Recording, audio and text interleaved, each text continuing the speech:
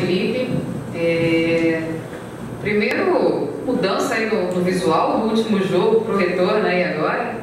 É, primeiramente boa tarde.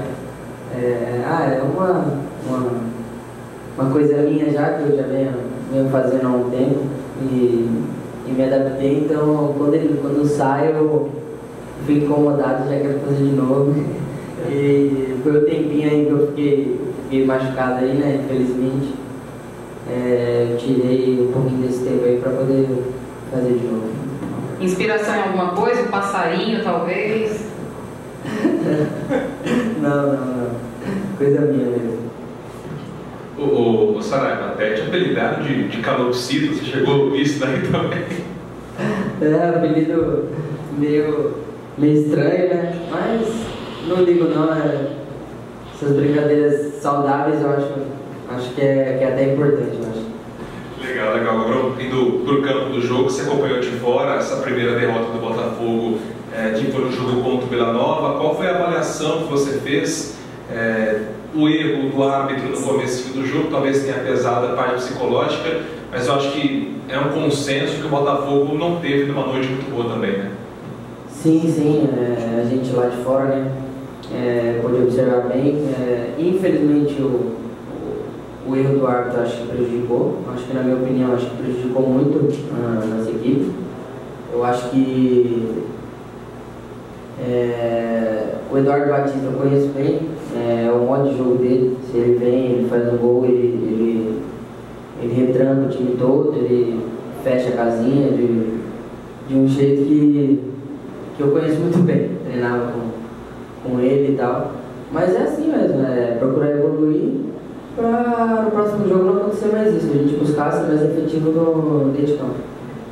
Próximo jogo, um jogo bastante difícil, bastante complicado na casa do adversário, o operário é, é muito difícil de ser batido é, na casa dele, então o nível de dificuldade é grande. É, pontuar nesse momento, é, evidentemente o maior número possível, mas pontuar nesse momento é preponderante?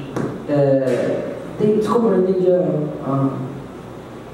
a última fala. É, pontuar é fundamental, é preponderante, é algo assim é, é determinante para vocês, independente de um ou três pontos. Sim, sim. Acho que é o que o professor sempre fala, é, é ganhar essa gordurinha, né? É, a mais para lá no, na frente não, não sofrer com esses pontos perdidos, como foi esse último jogo. Acho que jogo em casa a gente tem que se impor, né? E não que a gente não, não tivesse é, imposto o jogo, mas eu acho que o árbitro prejudicou um pouco, mas isso não justifica nada. Eu acho que a gente tem que colocar a cabeça no lugar e, e melhorar cada jogo a mais.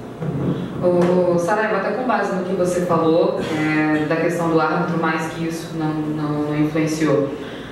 É, quando, no, eu imagino que vocês tenham conversado já no vestiário, logo depois da, da, da partida. O que, que vocês conversaram ali? Que tipo de análise vocês fizeram dessa partida? É, até no fim, aqui mesmo, acho que foi o Andrés né, que disse tipo, olha, não é que perde, né, tá tudo errado, obviamente não, mas é, a que conclusões vocês chegaram a respeito dessa partida? Sim, sim, é como falaram lá também, não é porque a gente estava ganhando que estava tudo, tudo certo, e não é porque a gente perdeu um jogo que vai estar tudo errado também. Acho que a gente tem que trabalhar, tem que melhorar o que o professor vem passar pra gente e não pode deixar, tem que pôr o pezinho no chão, não pode deixar né, essas vitórias que veio as três seguidas nos achar que a gente está tá melhor que as outras equipes, porque a Série B é um campeonato muito difícil, então eu acho que a análise é, é essa. Não é porque perdeu um jogo que tá, tá tudo errado. O, o Sarari, como foi o seu processo de recuperação? Até a gente até conversar com o departamento médico, falaram o bom dele é que, além de ser jovem, ele não tem um histórico de ser um jogador que sofre lesão, tudo isso pode ajudar. Foi exatamente isso? É, uma lesão talvez tenha surpreendido, se apanha muito nos jogos, desgaste da temporada. O que você acha que pode ter causado a lesão e como foi esse seu processo de recuperação? É, o que o pessoal falou para mim, né, que a minha recuperação foi muito, muito rápida, foi bem foi bem, foi boa. Então acho que o médico também falou para mim, quando eu fui fazer o último exame, falou que não tinha mais nada, ele até ficou surpreso, mas é assim, eu me dedico muito também é, em parte de fortalecimento, em parte de que prevenir lesões, né? Então acho que isso ajudou muito. E o que causou, acho que foi mesmo um desgaste mesmo. Acho que apenas um desgaste que ocasionou isso. Saraga, o, se a gente pegar como parâmetro a última partida, é, depois do, do, erro da arbitragem pênalti bem batido pelo, pelo atleta do Vila, é, o Darwin não teve que fazer nenhum milagre, nenhuma grande defesa, nem nada, então o sistema defensivo se comportou bem. É, o que não funcionou, na verdade, foi o sistema ofensivo, que é a tua área, que é a tua praia, é, embora tenha chegado várias vezes na área do adversário, mas acabou pecando na conclusão. É, o que vocês tiraram de lição desse jogo que já possa ser aplicado contra o operário lá no Germano Crivo? É, então, eu acho que é a, finalização. Acho que o último passe a gente tem que, que ter mais calma. Eu acho não é nem falta de, de, de qualidade, nada. Nosso time muito qualificado, nosso ataque muito qualificado, seja quem, quem estiver jogando. Então eu acho que é mais, eu acho que foi mais um nervosismo, eu acho, não sei. A gente também não entendeu nada que estava lá em cima.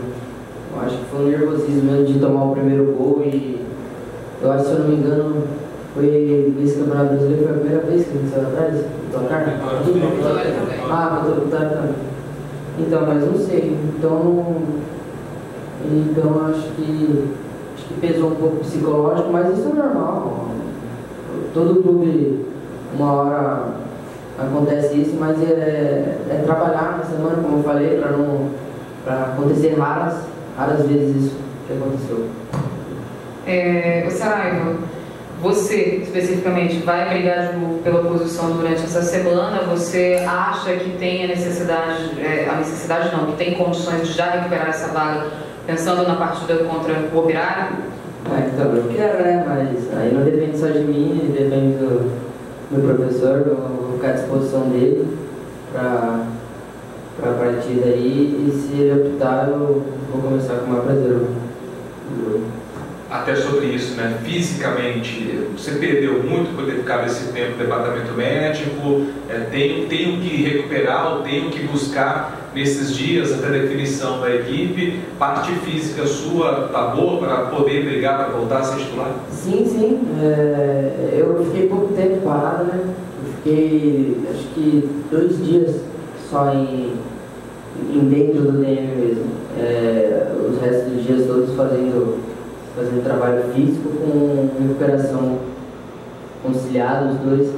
Então acho que eu perdi muito pouco, graças a Deus aí fui, fui bem monitorado aí pelos fisioterapeutas e pelo, pelo físico. Felipe, até uma variação da pergunta da Amanda e do complemento do Luiz. É, claro, o jogador quer ser titular, quer jogar todo jogo e tal.